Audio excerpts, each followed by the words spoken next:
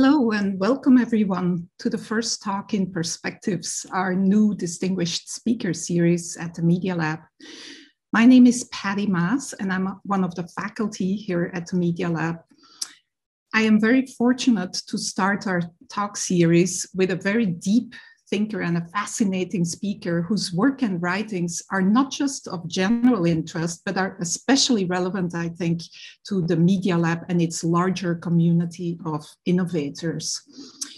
Juan Enriquez is a Mexican American academic, businessman, and author. He is a TED All Star speaker, having given over 11 TED Talks. He has sailed around the world, sampling microbial genomes throughout the world's oceans, has helped negotiate a peace deal with the Chiapas Zapatistas in Mexico, has worked on economic policy for Mexico's Secretary of State, and he is widely regarded as a leading authority on the political and, and economic impacts of the life sciences.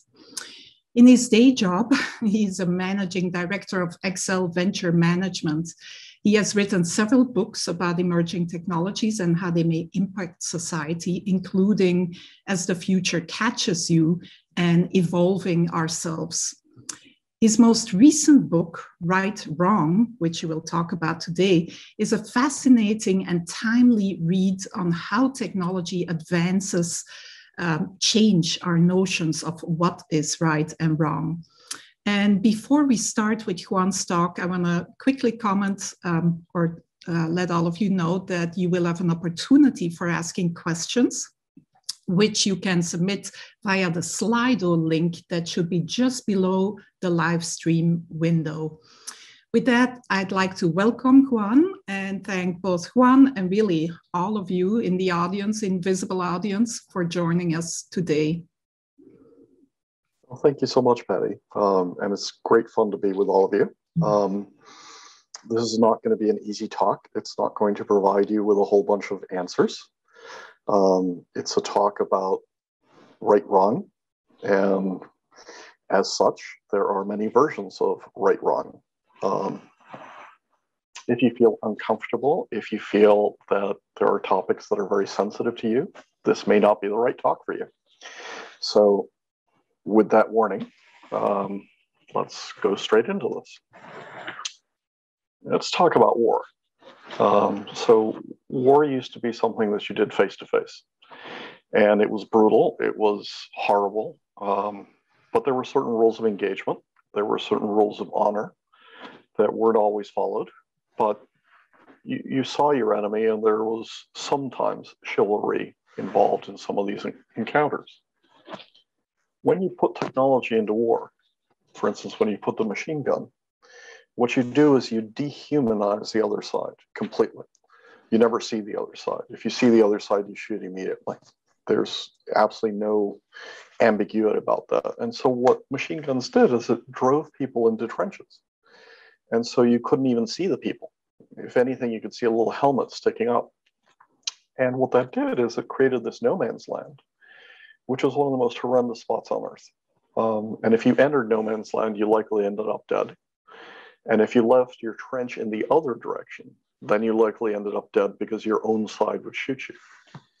And in a strange way, what's happened to us recently, partly because of social media, is that debates that used to be face to face, where you look the person in the eye and say, I disagree with you, or I agree with you, or you're an idiot, or you know, you're a very smart person, have now turned into these debates that are driven at a distance.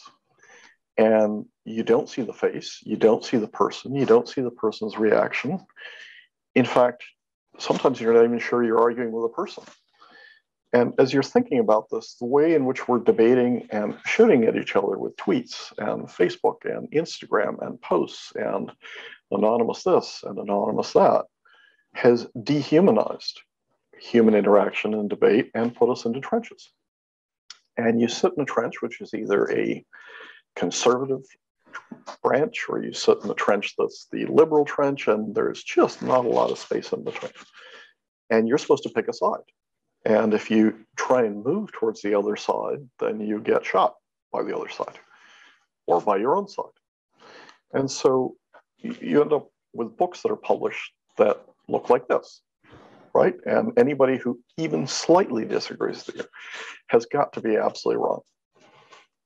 If you're thinking about what has caused a lot of the polarization and a lot of the anger and a lot of the things that we say about each other that we would never say face to face, it's because there's this absolute certainty that I know right from wrong.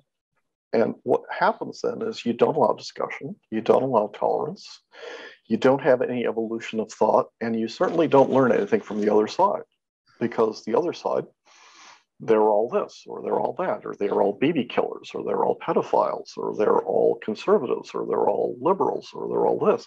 So there's no incentive or structure in which anything they say is legitimate. They have any point whatsoever and if they slightly disagree with you, clearly they are absolutely wrong. That's led to the situation where even your own tribe sometimes shoots at you, and sometimes your own tribe is the most cruel with you. Sometimes the people who are most destructive towards you are the people who are supposedly your workmates or your peers and people you've worked with for 10 years say something wrong and you throw them off a cliff and there's no benefit of the doubt. Um, they did this wrong. I know it's wrong, and that's it.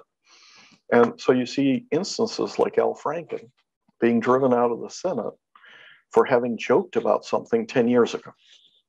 And he was driven out not by the opposition, but by his own tribe. And I've heard that that occasionally happens in academia. So what ends up happening is you're forced to choose a side. Are you on the BLM side or are you on the we support the police side? But the odd thing as you dig deeper into this and you ask yourself the question, why do you never see these two symbols on the same lawn at the same time? And it's odd because two thirds, by far a majority, supports BLM, and two thirds doesn't want to defund the police. So the situation actually is a little bit more complicated, where it's okay to be outraged by George Floyd's murder. It's okay to not condone looting and riots. And it's okay to support good police officers. It doesn't mean that every police officer is right. It doesn't mean police are always right. It doesn't mean that you shouldn't rally and protest. But it, it means that this is more complicated than has been structured into two specific trenches and you're either in my trench or you're in the other trench. And if you're in the other trench, then I should just shoot you. And, and that polarization divides nations, destroys countries, destroys academic departments, destroys businesses, destroys a whole series of things. The reason why this debate is so important is because even if you are Mother Teresa, let's assume for a second that you are the one in a million who is always right. You've always got the right stance. You never wear the wrong costume. You've never used the wrong words.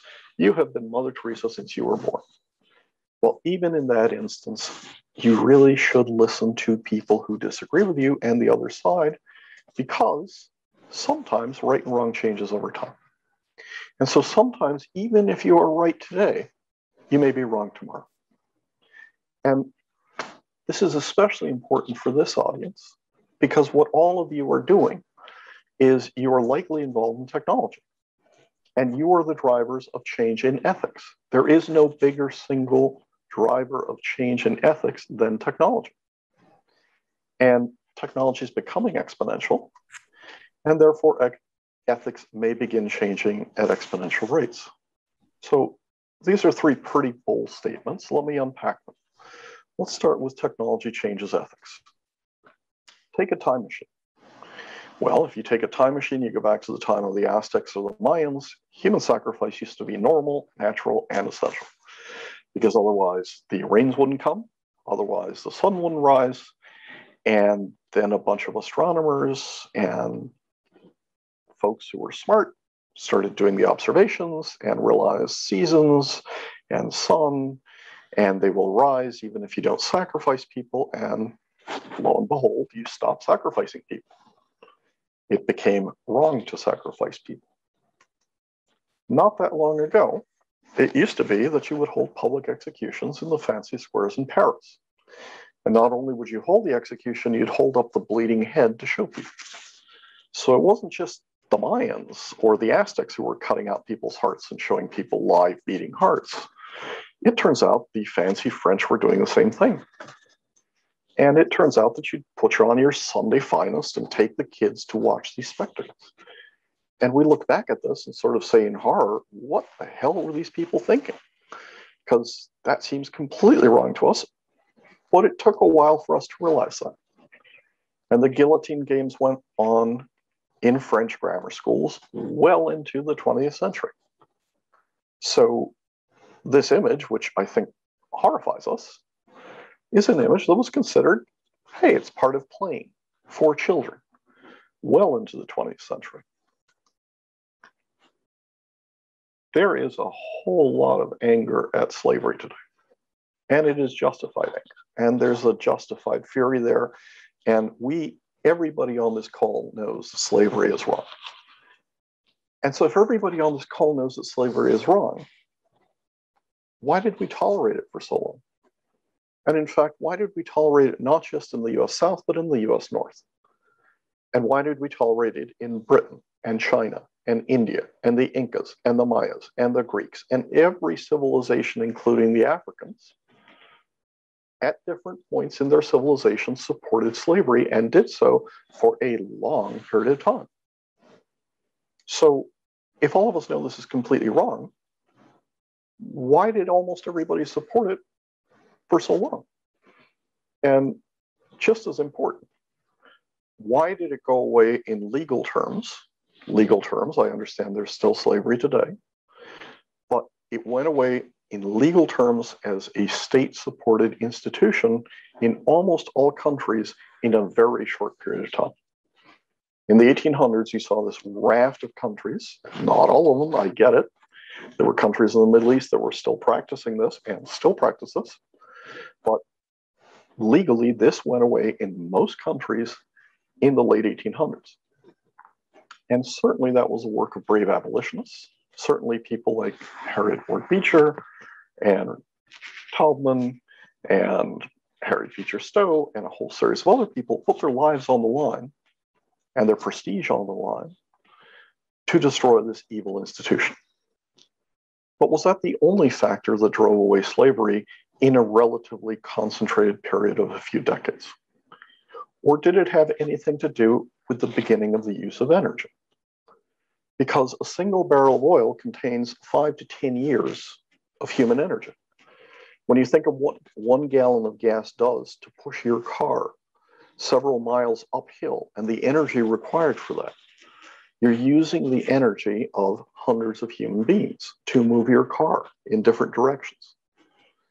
And it's not perhaps a complete coincidence that when you start using energy and you start using machines that provide you thousands of horsepower, in a short period of decades, slavery begins to go away. So, technology in this case acts as an enabler for a more ethical behavior. You can maintain a better lifestyle and not have to oppress millions of human beings through serfdom or through slavery or through oppression or through a whole series of other things.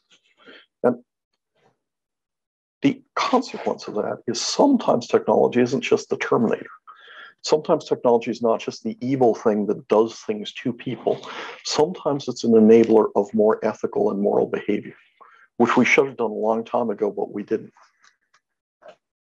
One of the things that happened after slavery started to go away is you saw life expectancy and wealth explode globally. So you do away with this horrendous institution, people start living a lot longer and earn more.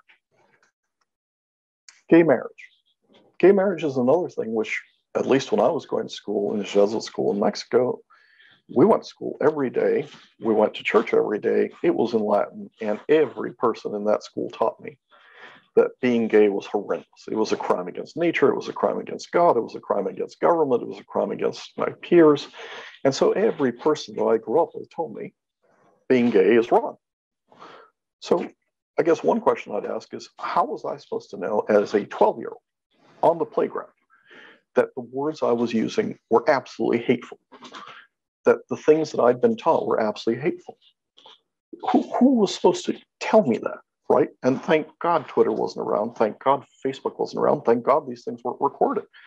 Because I was a little bigot, because I was brought up a little bigot. And by the way, gay marriage was illegal and wrong in the United States and in most countries in this world for a very long time. And in 1997, two thirds of Americans opposed it. Fast forward to 2017, and all of a sudden, this thing is flipped completely in the majority, 180 degrees. So all of a sudden, everything that a lot of people were taught at a certain age leads to boycotts, leads to insults, leads to I'm going to destroy you because you hold an opinion that you were taught with and educated. And, and you know, you couldn't be on the right side for a long time and then flip it 180 degrees, even if you're the Pope. Because the Pope as Cardinal came out in 2010 and said this is a destructive attempt towards God's plan. And three years later, he says, Who am I to judge? And he's wrestling in this horrendous thing in a very divided world because when you look at his flock and you ask them a question about gay marriage, it turns out that there is a very different sense of right and wrong across his flock. From 95% of Catholics in the Netherlands saying society should accept homosexuality to 91% saying absolutely not in Nigeria. So he's trying to manage a change in opinion, in global opinion, towards the right side, which is it's as stupid to discriminate against gays as it is to discriminate against somebody who's left handed or other sexual orientations. I get that. But that's not the way that people were brought up. That's not the way people were educated. And so they think because their church, because their parents, because their grandparents, because their society, their teachers, their government taught them this, that this shift, which is driven by education, is driven by social media, is driven by radio, is driven by movies, is driven by exposure to one another. This is a huge shift that's occurring in a very fast period of time that's completely discombobulating a lot of people. And, and as you address these questions of right and wrong, you have to understand they shift over time. So even if you are on the right side of history today, you may not be tomorrow. In fact, what's okay today may be wrong tomorrow. And as you think about these things, take this 4th of July. A lot of us are going to come out of this thing and just have a bang up summer. And just, you can just taste that first hamburger, that first hot dog, that first outdoor, you know, cookout with your friends. And some of you will be vegan and you won't. But a lot of people on this call may have a hamburger. And that picture may look horrendous in 20 years because the price of synthetic meat per hamburger was 380,000 bucks in 2013, 30 bucks in 2015, nine bucks 2020, seven bucks last week. And as this price drops, these pictures of walking into the fanciest steakhouse in town for a fancy post COVID dinner may look really horrendous. What the hell do you mean your parents would go and walk past rotting pieces of meat in a fancy restaurant to whet their hunger? How dare they have slaughtered 6 billion animals a year? But of course, that will come from a position of meat is available faster, better, cheaper in a different form. And your notion of is it okay to cook what used to be a live animal on a grill and what does that picture look like in 20 years may look very different. How we treat prescription drugs, right? This is especially important these days because prescription drugs in the US are on average 2.5 times more than other countries. And so you end up with this figure of your money or your life. Right? And, and this is going to be looked at not kindly by next generations. You had enough money and you let people die because insulin tripled in price? Really? Well, what, in what universe did you think that was okay? On the other hand, things that seem wrong to many of us, like editing babies, may seem 180 degrees tomorrow because you're at the stage where you're saying there's a scandal because babies are being edited. Yes, it was done wrong. It didn't have the peer review. It didn't have the controls. I get all that. But I also get that there could be a conversation in a few years where kids say to one another, Do you know that my parents were so backward that they didn't edit out my KRAS genes? They didn't edit out my P53. They didn't edit out my BRCA. They were so primitive and savage that I have cancer now because they didn't edit me as a baby. And in fact, do you know that my mother actually carried me in her womb and exposed me when she went out to eat in exotic places or go mountain biking or travel instead of leaving me nice and safe inside a hospital. She, she actually carried me and gave birth to me. I mean, you imagine how primitive that was? And again, the logic will flip 180 degrees. As we look at things like COVID, yes, we criticize the founding fathers. Yes, we criticize a whole bunch of awful things they did. But during a period where we're doing that, we've watched 560,000 people die in the United States. And the more who die, it seems the less we care. This is 1.6 times World War II, 5.6 times World War I, 9.6 times Vietnam, and 23 times annual car deaths. And many of these deaths could have been prevented. And as we debate the past and argue with each other about the costumes we wear or the people we had dinner with, or didn't have dinner. This stuff is going on. And they're caging children. And, you know, I'm sure that a lot of you were out in the streets outraged, socially distanced, protesting with us. But maybe some of you weren't. And maybe some of you will be judged for that in the future. Because maybe even you did something wrong. Things like this drive me absolutely bananas right? So it's going to take the FDA 10 days as of today to go and review whether Johnson Johnson causes red clotting or not. Well, you know what? Let's review it and let's just fast forward it 10 days and let's say, yes, it does. Even in that case, what you're looking at is one death per 7 million, maybe two deaths per 7 million, because one of these people is in intensive care. What is the death from COVID? It's 1 in 590. So the cost of not acting, the cost of taking these vaccines off market for 10 days is going to be in the hundreds of lives. But somehow we think it's ethically justifiable to do that. And that's an incredibly important debate for all of you who are involved in technology because when you look at self driving cars, there's a lot of people, especially young people, who die of car accidents. What's the standard you want to set? A self driving car should never kill anybody because they will. But should a self driving car be approved only when it's twice as safe as the average driver? Five times as safe as the average driver? 10 times as safe? a 100 times as safe? Every time you raise the bar on that, you kill more people through inaction. Because those people are going to continue to die in car crashes. They're preventable car crashes, but not adopting this technology is absolutely wrong. Let me close by saying these are questions that are coming to you, and they're coming to you very quickly because life sciences is driving our ability to alter life forms, to alter organisms, to remake parts of our bodies, to make synthetic life, which was a project that I was involved in, which was kind of a big deal. And we have now made printers, desktop printers, that allow us to print life forms. Insert one genome, create a different species. And yeah, that's going to create one or two questions. Folks at the engineering School of Engineering Applied Sciences at Harvard have been making biohybrid animals out of rat hearts, cells, rubber and gold. Michael Levin from Tufts published nanobots that may or may not be alive in the last week.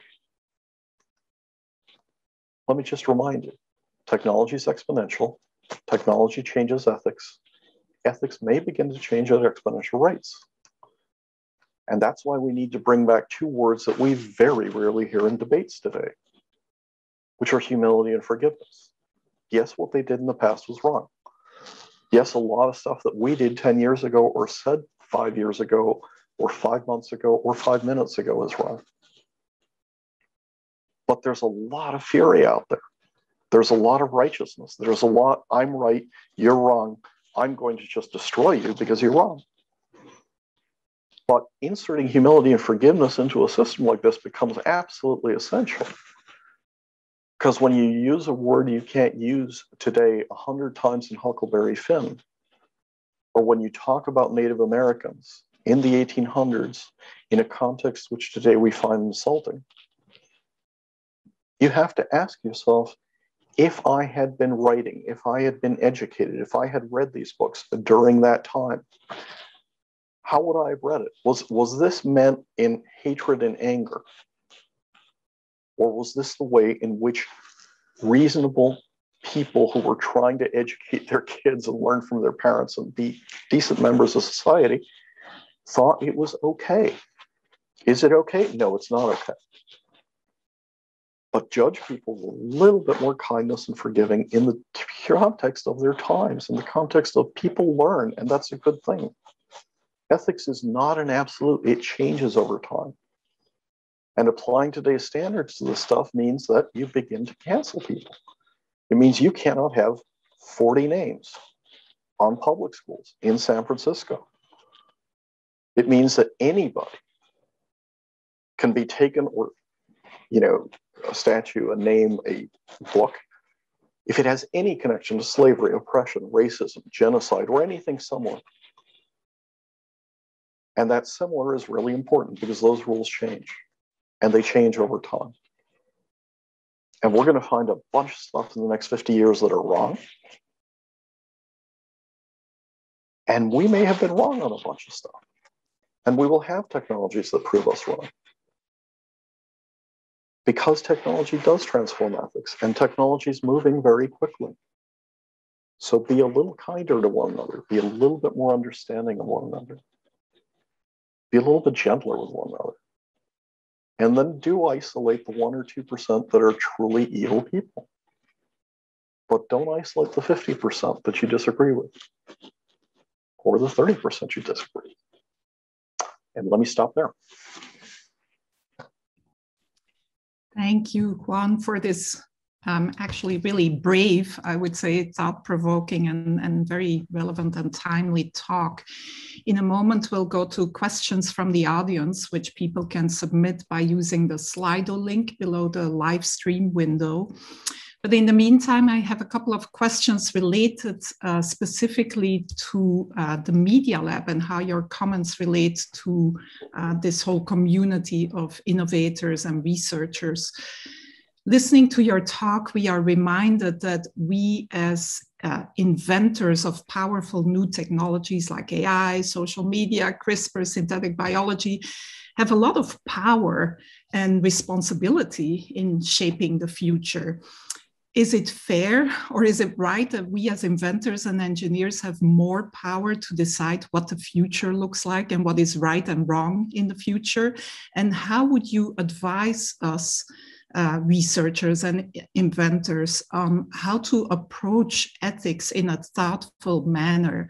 Um, how can we be more inclusive and invite a larger community in discussions related to the technologies that we event uh, that we invent maybe even before we, we build them Um, and related to this as well, I have this question that comes up frequently in uh, at the Media Lab um, uh, when somebody uh, proposes a really powerful new uh, technology. Uh, there's always every powerful new technology can be used for good and for bad. How should we think about that as inventors and researchers? Would you advise us not to work on developing some technology because it has particularly negative potential use cases? Or is it better as a researcher to be involved um, in the creation of a new technology that can be used for bad so we can help steer the use of these technologies towards or in a hopefully better direction? So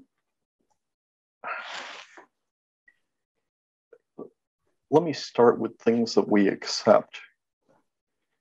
We're, we're, we're, debating the use of future technologies and what if something invented does X. And that's certainly a really important debate. It's also really important to understand that stuff that we sort of accept today is absolutely, completely immoral. So, for instance, uh, you could easily see a scenario in 50 years where nuclear weapons have been eliminated and where people look back and they say, Do you realize that there were literally six human beings on Earth who had the power to push a button and destroy most of life on Earth? And in what moral universe is that okay? Right? I mean, how, how, how are we thinking about the world in such a way that we think it's okay for the President of the United States, Russia, China, a couple of other countries to have the potential to really destroy a big chunk of life on Earth and, and you know, contaminate it for millions of years. And, and when you look at the debates over releasing the water that's slightly contaminated from Fukushima, that is child's play compared to the power that individuals have today. And somehow we think that's okay and acceptable. So I think it's really important to do a review of technologies that in retrospect, we're going to say, why, why weren't people speaking out about that? Why weren't people, you know, going nuts about that stuff? And there are those technologies. Mm-hmm. And then there's the hypothetical damage that a future technology can do, and how afraid should you be? And my position on that is I tend to be an optimistic curmudgeon. I, I, don't think history is linear. I don't think it always gets better. I don't think every year will be better. I don't think every technology will improve humanity. But on the whole, if you took John Rawls's dictum and you were born at random as X, Y, or Z, would you really rather be born into almost any society as a woman in the 1950s, in the 1900s, in the 1800s, in the 1700s, in the year 1000? if you were of a different ethnicity from the country that you're in or a different religion from the country there's a whole lot that's wrong today. But would you rather have been born in the 1950s, 1900s, 1800s, 1850s? And, and so I think people tend to look at technology in very dystopian views and they tend to look at the nasty effects of technology. And certainly there are nasty technologies. But on the whole, we're living a whole lot better today. And we're a whole lot more conscious of some of the evil going on in the world today. Among other things, because each of us has a broadcast studio inside our pockets. And so when something happens to George Floyd, it's not the first time there's been a George Floyd, but it's the first time that everybody in the United States, not just the city, reacts in a very short period of time and in fact throughout the world. Now, does that mean that in any way, shape, or form what happened to George Floyd is justifiable? Absolutely not. But if we'd had these instruments, maybe we would have stopped lynchings earlier. If we'd had these instruments, maybe we wouldn't have treated each other in such a cruel way. So uh, I tend to be more optimistic about technology than many, understanding that, yeah, technology can be seriously misused. I think as uh, I mean that most of us at the Media Lab share your optimism about technology, but at the same time, I think we feel a little bit um, increasingly uncomfortable with the fact that we have that special power and that um, we are defining the future um, uh, for others that have less to say about what technologies get in, invented. So I'm curious how you would uh, or whether you would also uh, encourage us to be more inclusive in the research itself and, in, and involve um, the, uh, the community more in discussions about what technologies should be created in the first place. Um, it seems unfair that we are the ones to, to come up uh, or to decide this as opposed to involving everyone who will be uh, affected. No question. Mm -hmm but I think you also have to look at what you've done. Mm-hmm. Because I think MIT was one of the first universities to put its courseware on the web open. Mm-hmm. And that is one way of bringing people in this debate and saying, look, this is what we're learning. We're going to be open about it. We're not going to hide it. And I think this, you know, one of the things that's going to come out of COVID that I think, you know, is going to be beneficial among all the loss of life and horrendous things that people have lived mm-hmm. is the ability to communicate and educate at a distance in a much more effective way. And the single most effective thing you can do to raise a society's standard of living is to educate women. I mean, disproportionate impact as soon as women start getting educated. Enormous impact on that society, on its children, on its wealth. And, and so I think bringing women and groups that have not had ed- access to education into this equation is really important. There are other things, and, and it's interesting how simple these technologies can be. Having a washable floor makes an enormous difference in people's lifestyle. Because if you think about what it means to have a dirt floor that accumulates microbes for decades versus having a linoleum floor that you could just wash, or a kitchen countertop that's not wood, it's linoleum or something else. Having folic acid for mothers, two cents a day, enormous impact. Preventive medicine, very cheap, huge impact. So, understanding the impact of cheap technologies, and uh, you know, one of the one of the things that I think in retrospect is going to be seen as wrong and maybe even unethical, is how little we spend on vaccines and antibiotics. Because in terms of disability life years, an antibiotic that you give to somebody and they take it for 10 days and then they don't come back for decades has a disproportionate impact versus a third line end of life cancer treatment that costs hundreds of thousands of dollars that extends your life by a month or five months or six months.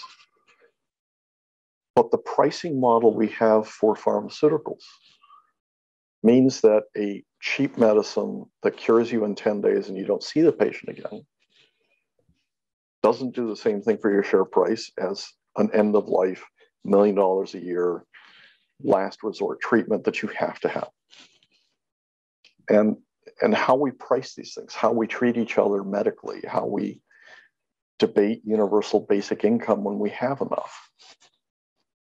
In what universe is it okay to walk over somebody on the streets of Boston who's freezing to death on a park bench? We have the money to address that. We have the money to address hunger. And, and you know, we are not doing that. We're, we're living, I think, in a very interesting stage of capitalism because for most of human history, the issue was there's not enough.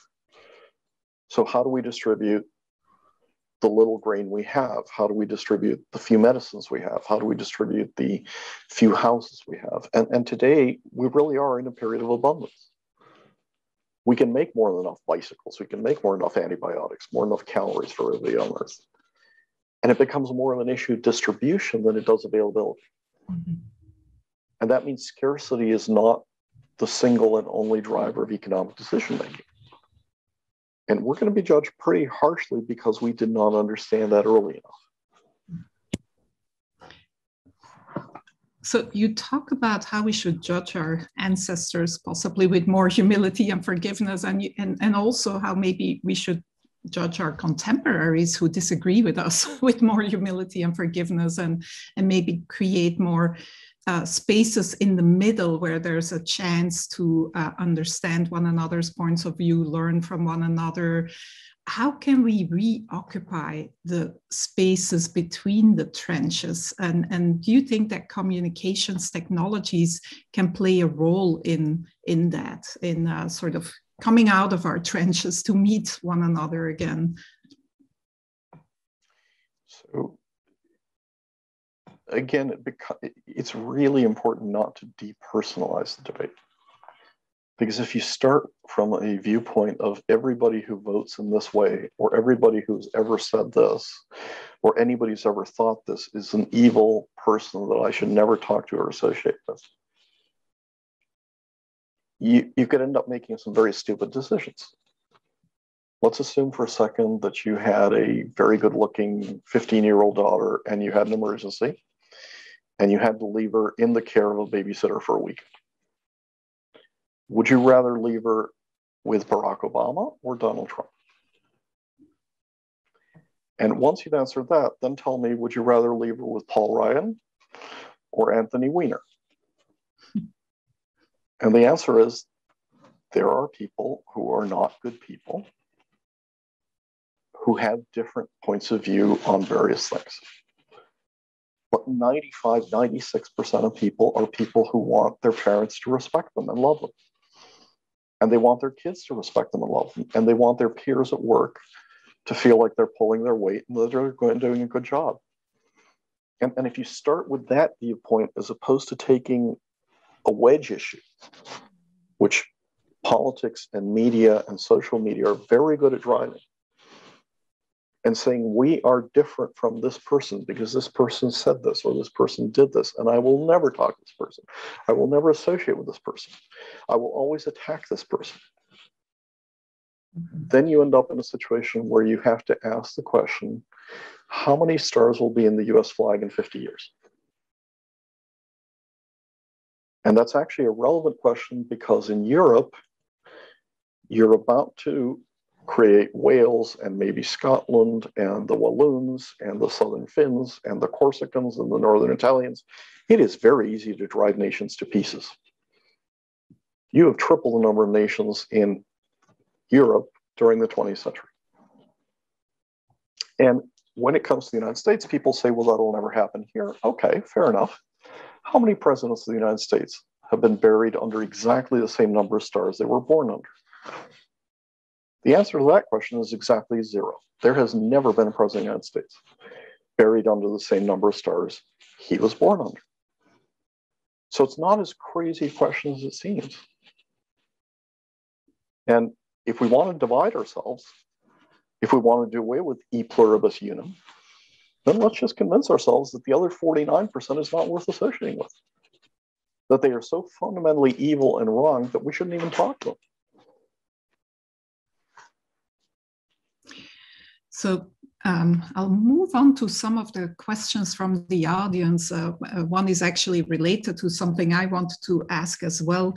Uh, we live in an era of globalization and communications uh, technologies. Um, and so we are more aware than ever of other people's lives and their contexts and so on. Um, would you say that there is more or less that there's an evolution towards more or less agreement than ever um, on what is right and wrong globally? Um, do you see um, more sort of divergence of opinions or more convergence because of um, globalization and communications technologies? And I, I think on the whole, you know, it, it looks like one of these graphs of global wealth and global disease and global wars, where there's a whole series of ups and downs, some of which are just brutal. But on the whole, the trend is up and right. So the amount of time a person lives on average, way up. The average income of a person. We've taken a quarter of the population of Earth out of poverty in about 25 or 30 years. The amount of people who are hungry in the world today, and I understand, especially during COVID, it has grown astronomically. But when compared to the 1970s, when you had the concert for Bangladesh, it's a different system of having systemic global famines almost every five years. So there's a lot that's going wrong. But again, would you rather be born on average in the 1950s or 1900s or 1800s? No. I, I think technology is enabling us to be more generous to one another. I don't think we've learned that lesson yet. And I don't think we've learned how to forgive people who didn't have as many options as we did. Mm-hmm. Yeah, this relates to another question um, from Anonymous. Is your argument that because future societies will make different judgments, we should not make them today? And uh, another related question is ethics determined by popularity, or are there better, more long lived, or social bases uh, than what most of us currently believe to decide on ethics? So I think ethics almost looks like one of these product adoption curves that looks like these S curves except that the speed of change in what's right and wrong has been accelerated massively by our ability to do things differently. So, for a long period of time, when you didn't have the ability to do things differently, there was a standard evolution, and it was very slow. But even there, it's really important to understand how ethics and evolution have been related.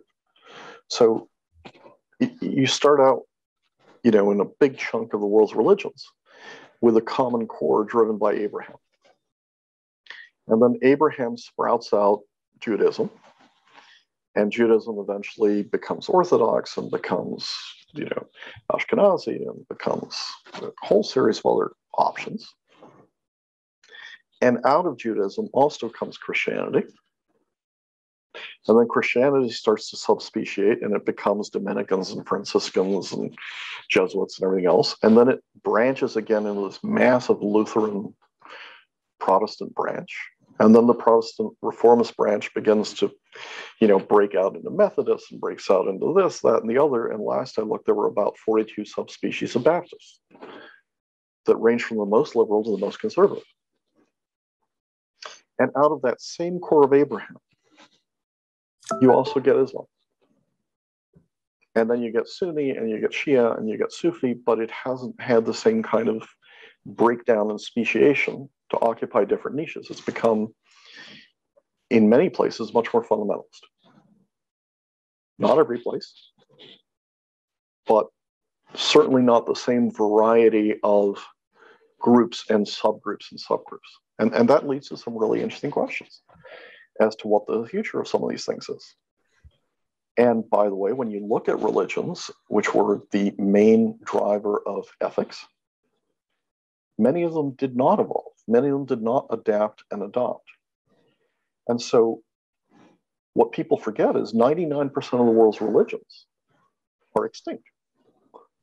And that's why when you go to a art museum or you go to an archaeology museum or you go to a history museum, a lot of what you're looking at is dead gods. You're walking past the god of rain, you're walking past the god of the sun, you're walking past Zeus, you're walking past, you know, this, that, or the other. And so ethical systems that don't learn, don't adapt, don't transform themselves across time, they become extinct, even if they were dominant once upon a time. Another question from Anonymous. Your talk seems to suggest that you believe that progress in ethics is a result of progress in technology. Is that a misrepresentation question? And what do you think the role of people who don't work in science, technology, design, and engineering is in ethics? I think there have been many drivers across time of changes in ethics and religion. Um, there was a period of time when one of the biggest drivers was the amount of corruption. When you had popes who were, you know, sleeping with their sisters and paying for indulgences and stuff, there was a, such a huge disconnect between what you were preaching and what was happening that there was a breakdown of the system because of the dissonance in the teachings. I think we've had technology for very short periods of time. And I think we're incredibly privileged to live in a period where technology has given us choices that no other civilization or person has had. So I think what I'm saying is technology is not the only driver of right and wrong. It is becoming increasingly a driver that gives us options to act in different ways. And in the measure that we act in different ways, we are tending to act, not always, not in a linear fashion, in more ethical ways. So there has been huge harm caused by technology in some aspects, but on the whole, technology has driven more ethical behaviors and it is becoming an ever larger driver of ethics. Mm-hmm. Now, related to that, while technology generally results in more equality, more opportunities, and uh, resulting positive changes in ethics, it seems that sometimes when technology and society changes too quickly, um, that can actually have a negative effect on ethics in that some groups uh, become more conservative when change happens too quickly. Um, so, would you agree with that? And um, should we be careful maybe that technology doesn't evolve too quickly because that may actually result in um, uh, sort of a backlash, really, even though technology may have many positive uses uh, towards technology because people just don't always appreciate that their world changes uh, too quickly. That assumes that we could control the pace of technology and discovery, which is a great a big bit. assumption, right? I, I mm-hmm. think we have to ask questions in parallel, which is as technology is deployed, what does it change? And how do we help people? So, you know, this issue of the future of work is an absolutely essential question because I think the hours that we worked on average in the 1900s are inconceivable to people, to most people today. The notion that you would start working at age six and that you probably wouldn't go to school and that you'd work in a coal mine or that you'd work in a uh, factory or that you'd work in the fields from age six on and work for 12 hours a day from age six on is, is something which we consider child slavery. And, and again, technology has given us a series of options to not have to do that. But I could easily see a situation where half of the jobs go away and we generate more than enough income to take care of those folks and allow those folks to have a decent lifestyle. So I think when we address changes in technology and labor, we have to do two things. We have to look at how do we create a minimum basis of if you are a human being, you are going to have enough to eat. You are going to have a place to sleep. You're going to have the basic medicines and you're going to have some income. Now, beyond that, you know, you can earn more by virtue of being a human being, we have enough today with what we have. And it becomes a distribution question as opposed to an availability issue. That's really important. But then there's a second aspect, which is really important, which is I, I think the relationship to work is very different in Europe and the United States. And again, this depends on the individual. But if you play the stereotype, a lot of Europeans would say they work to live. And in the US, you have a very different relationship in your identity to your work. Right. So, one of the first questions an American asks that you don't get asked in Europe is, What do you do? Because your identity is focused on that job. And if you're going to do away with half the jobs, then it's not enough to provide a universal basic income and a basic standard. It becomes a question of what's that transitional identity? And, and those are questions that technology, rather than asking the question, how do we slow technology? It's what does technology enable us to do that we couldn't do before, and what does that change? And how do we adopt and adapt to this new world? There's a second aspect to technology which is incredibly important, which is because we have ever more powerful technologies, the cost of leaving people behind and the cost of having a lot of angry people increases astronomically. Because the damage that one angry hacker can do in some godforsaken place, or that one person using biowarfare can do in some godforsaken place, it gets really expensive to play this us versus them game. It becomes really expensive to say, I got mine, tough luck for you. It, it, we really have to treat each other better mm-hmm. across the world because we have ever more power to help each other and to hurt each other. Yeah. I have so many more questions, but I'm afraid that we already are out of time. Um, thank you so much, Juan, for being here and for the fascinating talk. I would recommend uh, to people that they read your book um, if they want to see a longer or read a longer treatise on uh, the same topic. Uh, so thank you. You'll only hear my claps, but I'm sure many others are clapping as well. Um, to uh, the rest of you, I hope that you will join us in two weeks uh, when Todd Machover will host an equally exciting guest, uh, composer, artist, and performer George Lewis. And thank you, and see you next time. Thank you very much.